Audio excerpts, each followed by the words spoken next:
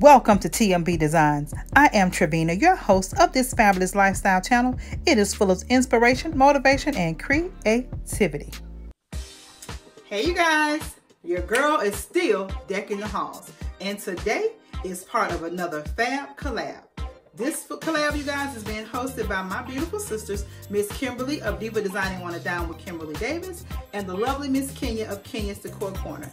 This is the winter coffee or beverage bar collab. We're asked to style whether it be a coffee bar, beverage bar, whatever type of bar we want to style, right? So, being as though I'm in a peppermint twist frame of mind, I'm going to give my cart a coffee bar or cocoa bar makeover. So you want to see how I style my fabulous cocoa bar for the winter or Christmas season? Okay guys, so for me, the foundation of any bar cart or beverage cart is to lay on your signature pieces. And for me, you guys, you know that this carries your signature to my coffee station season after season. So it's not new. It's not going anywhere either. So it had to be a part of my decor, right? To tie all of my colors in, the teals, the whites, and the reds, I definitely had to, had to have this beautiful hot cocoa bar sign. When I saw it, I knew it was the perfect piece to bring it all together. At 50% off, it was a steal and a must have. I'm taking you guys along as I built this beautiful marble tray collection. You guys, I got this Lazy Susan one from TJ Maxx for $29.99. I got this lovely square one that houses my Keurig machine for $6.99 from Ross Home Stores. And then adding to the collection, you guys, is this beautiful two-tier tray that I got from TJ Maxx for $24.99 beautiful foundation and backdrop for any station or beverage cart, regardless of your color or theme. But now that my foundation is laid, you kind of know what theme I'm going to go in. Peppermint twist in mind. Let's decorate. Okay guys, housed in a Dollar Tree cup are my peppermint spoons and French vanilla spoons.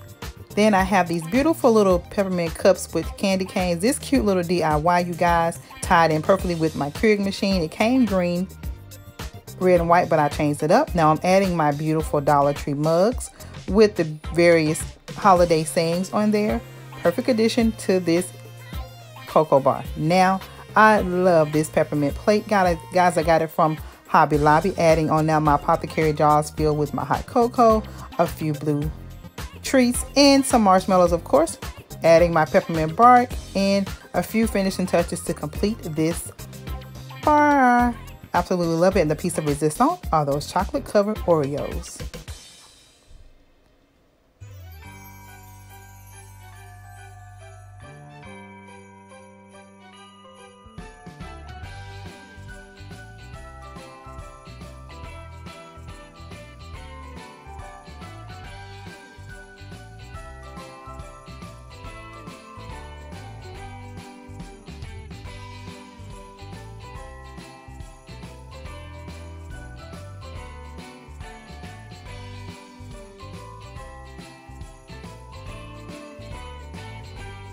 Okay guys, here it is, my hot cocoa bar, complete with all of the fixing and trimmings of a fabulous cocoa station.